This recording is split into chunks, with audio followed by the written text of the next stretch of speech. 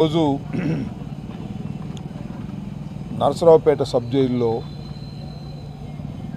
ఉన్నటువంటి ముగ్గురు social media యాక్టివిస్టుల్ని పలకరించాలనే ఉద్దేశంతో నేను గోపిరెడ్డి గారు ఇంకా మిగతా నాయకులు అందరం కూడా రావటం జరిగింది. ఆ ముగ్గురిని లోపలికి వెళ్ళి పరామర్శించి వారు చెప్పిన మాటలన్నీ విని మీతో నాలుగు మాటలు చెబుదామనేటువంటి ఉద్దేశంతో మీ ముందుకు రావటం జరిగింది.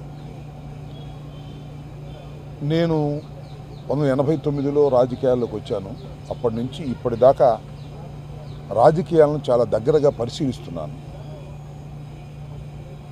ఇంత దారుణమైనటువంటి పరిస్థితి పోలీసు యంత్రాంగం ఎప్పుడూ చెయ్యలేదని ఇక ముందు కూడా చెయ్యబోరని నేను భావిస్తూ ఉన్నాను ఎందుకంటే సుధారాణి వెంకటరెడ్డి వీళ్ళిద్దరూ చిలకలూరుపేటకు చెందినటువంటి ఒక సామాన్యమైనటువంటి కార్యకర్తలు.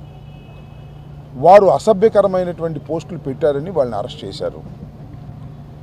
అవి అసభ్యకరమైనవా సభ్యకరమైనవా అవి నేరం కిందకు వస్తాయా రావా అనేది నిర్ణయించవలసింది ఫైనల్గా న్యాయస్థానాలు.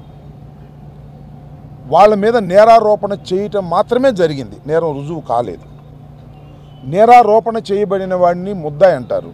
ఈజ్ అన్ అక్యూజ్డ్ అక్యూజ్డ్కి చాలా హక్కులు ఉంటాయి ఎమ్మటే బెయిల్ తీసుకునే హక్కు ఉంటుంది.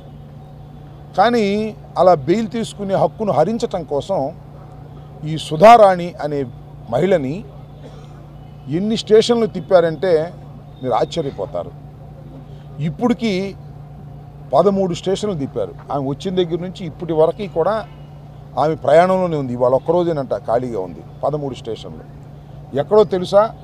ఆదోని అదో శ్రీకాకుళం దగ్గర ఒక స్టేషను పాతపట్నం గుంటూరు చీరాల. చీరాల చిలకలూరిపేట మాచర్ల ఇట్లా రాష్ట్రంలో వివిధ ప్రాంతాలకు కేసు మీద కేసు కేసు మీద ఏ కేసు అన్నీ ఒకే కేసు.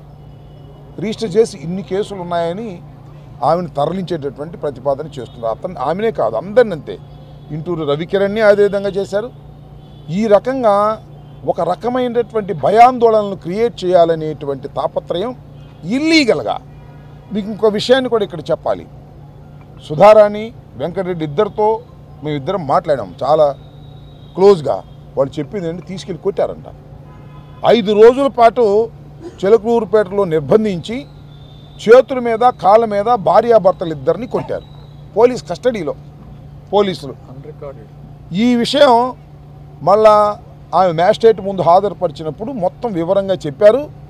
మ్యాజిస్ట్రేట్ గారు దాన్ని రాసుకున్నారు వ్రాతపూర్వకంగా.